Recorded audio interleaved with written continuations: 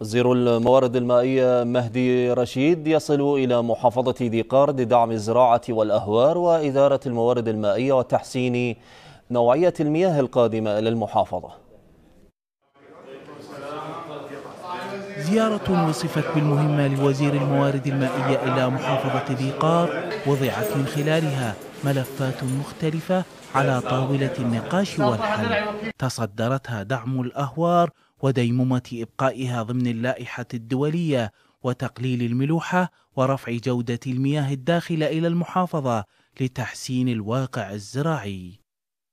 نجحنا في إدارة الموارد المائية وتأمين الحصص المائية لمحافظة ذي قار اللي هي تعتبر من ذنائب نهر الفرات. دليل دليل على نجاحنا في إدارة الوزارة حقيقة لأنه اهتمام بالمحافظات التي تقع في الذنائب هو فد عامل مساعد كبير.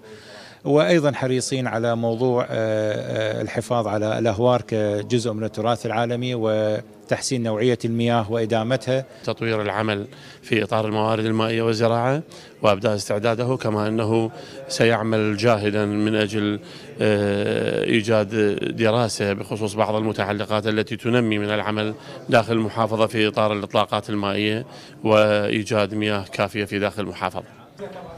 وزارة الموارد المائية والمحافظة اتفقا على تشكيل لجان مشتركة تكون في حالة انعقاد بشكل دائم تعمل على إدارة المياه وتقليل الضائعات والهدر وتأمين الحصة المائية المطلوبة للمحافظة. هذه الزيارة مهمة جدا لأن راح تضع الأسس الأساسية